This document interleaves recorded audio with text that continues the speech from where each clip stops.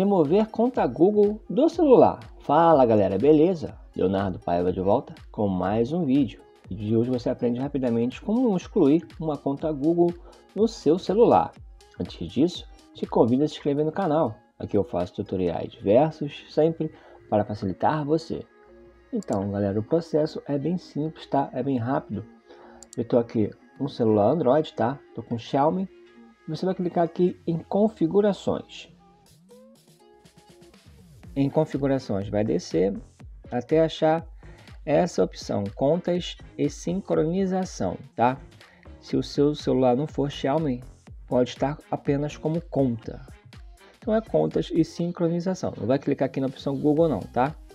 Então cliquei contas e sincronização e vai aparecer todas as suas contas vinculadas ao seu celular. Então tem conta do Facebook, Telegram, TikTok. Você vai escolher aqui a opção Google e vai escolher aqui qual é o e-mail que você quer apagar, tá? Qual é a conta que você quer apagar. Vai escolher o e-mail e vai clicar aqui embaixo nessa opção mais, tá? E vai ter a opção aqui de remover conta. Vai confirmar aqui a remoção, tá? Vai apagar todas as mensagens, contatos e outros dados do telefone, vou clicar aqui em remover conta. Prontinho, galera, apenas isso. Ficou com alguma dúvida? Coloque nos comentários. Não se esqueça de se inscrever no canal para mais vídeos tutoriais. Eu vou ficando por aqui. Grande abraço, fique com Deus. Valeu!